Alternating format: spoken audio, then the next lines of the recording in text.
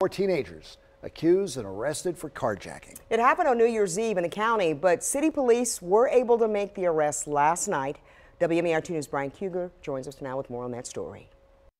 Orleans Street in East Baltimore last night. Baltimore police arrested four juveniles, placing them on the curb as detectives pieced together how this car they were driving ended up in the city after being stolen from the county.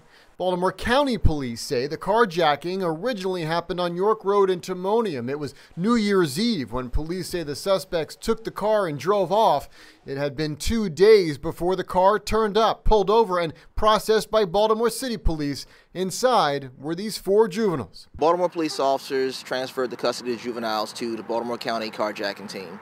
Uh, those detectives investigated and interviewed the juveniles and subsequently charged three of the juveniles with auto theft and one with carjacking. The teens were just 14 and 16 years old and will be charged as juveniles in Baltimore County.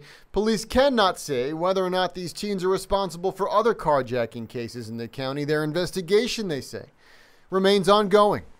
In Timonium, Brian Kuebler, WMAR 2 News.